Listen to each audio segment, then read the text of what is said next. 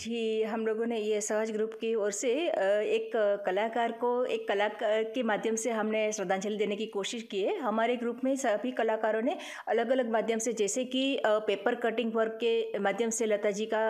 print out किया है cutout किया है then after dotted then sketch then floating rangoli और अलग अलग माध्यम से हमने हमारे आदरणीय लता जी को श्रद्धांजलि देने की कोशिश की है